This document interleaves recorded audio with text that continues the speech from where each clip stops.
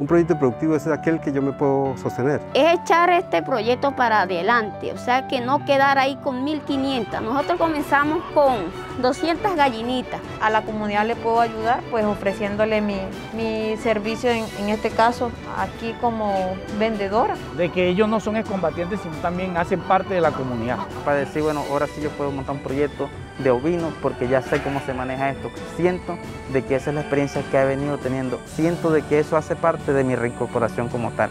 Se impacta en la zona y se ayuda a la reconciliación. Junto a la RN, en Compascol avanzamos hacia la paz con legalidad.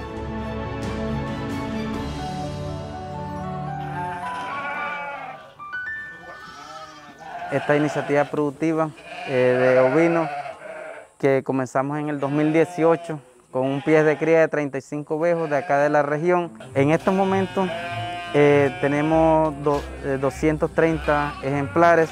Hay un horario que es a las 9 de la mañana que ellos salen, a las 11 y media se están recogiendo, vuelven y se estabulan un rato y se sacan a las 2 y a las 4 y media se recogen nuevamente. Eh, eso es el día a día. Y ya tenemos un técnico que nos hace acompañamiento constantemente. Y mi proceso es asesorarlos y el, el proceso de mejoramiento vaya bien. Dentro de dos años nos, nos vemos en 600 ovejos seleccionados ya. ¿En qué nos sirve esto para la reincorporación? Hombre, el conocimiento es la ganancia que le queda a uno. Ya me sé defender solito porque ya sé, ya tengo la experiencia. Vine a la granja como profesional para apoyar los distintos eh, desarrollos de, de, producción agropecuaria que ellos tienen. Tienen avicultura, ovino y el almacén agropecuario. Entonces a alguien se le ocurrió, vamos a montar un almacén para comprarnos nosotros mismos los productos y que nos los den más baraticos. Tenemos lazos, tenemos cabulla, tenemos palines, tenemos pico, asadón.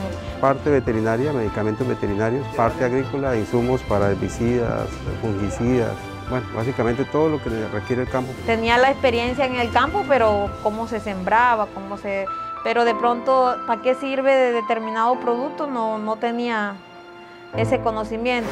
Baticola, algo muy bonito, muy maravilloso que, o sea, hemos aprendido, echando para adelante, eh, esforzando en, en, en, continuar este proceso adelante, empujar para que, para que esto se, se llegue a una, a una meta. En Colombia el único proyecto en pastoreo lo tenemos nosotros aquí en el ETCR de Pondores, en la, en, en la granja San Luis.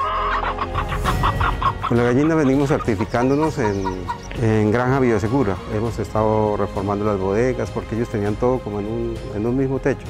Y la norma sanitaria del ICA nos, nos exige ciertas condiciones. Por eso le, le, le colocamos Galpón La Esperanza, porque era la esperanza de generar empleo, de contribuirle a la comunidad. Trabajo aquí como administradora de las gallinas ponedoras. Ya tengo dos años larguitos con mi compañero que hace parte de la comunidad. Yo soy excombatiente. Pues nosotros comenzamos con un proyecto piloto de 200 gallinas y mira hasta dónde vamos.